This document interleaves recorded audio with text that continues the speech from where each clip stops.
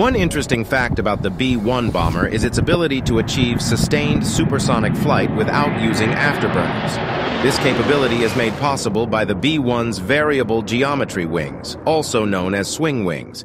The wings can be swept back and adjusted during flight to optimize the aerodynamic performance at different speeds. By sweeping the wings back, the B-1 reduces drag and improves its efficiency, enabling sustained supersonic flight. With its four General Electric F101 turbofan engines, make the B-1 capable of flying at supersonic speeds, without the need for afterburners. The ability to fly at supersonic speeds without afterburners gives the B-1 bomber a significant advantage in terms of fuel efficiency and range. This unique feature of the B-1 bomber showcases its advanced design and engineering, making it a versatile and capable strategic bomber in the U.S. Air Force's inventory.